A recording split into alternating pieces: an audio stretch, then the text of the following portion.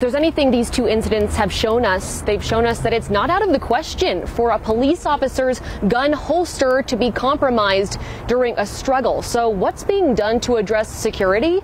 We spoke with Metro about it, and we also spoke with a gun holster expert about what kind of safety features are out there on the market.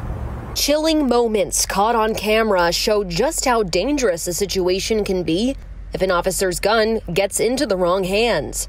Here's the moment from this weekend when a handcuffed suspect at Allegiant Stadium grabbed an officer's gun and managed to pull the trigger while the gun was still in the holster, striking another officer in the leg. A second officer was injured by bullet fragments to his ankle. Both officers sent to the hospital are expected to recover.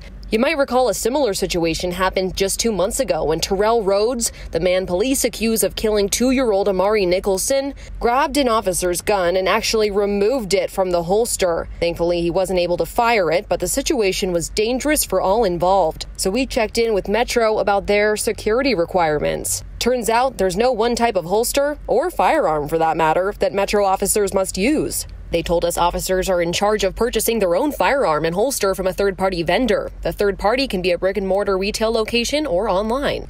He added that officers have to go through a qualifying process in order to carry their weapon each quarter, but the only qualifier he mentioned for a holster is that it fits their gun. In the Allegiant situation, officers said it was a duty holster. We spoke with a local distributor of holsters on what that means. A duty holster is typically uh, the same thing as a level 3 holster, and that means it takes three motions to remove the gun from the holster.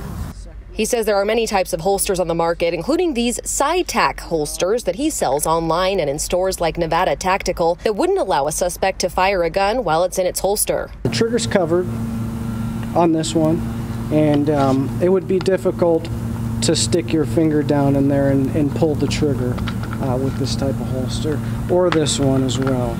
You know, you could you could see here. We will continue looking into this for you.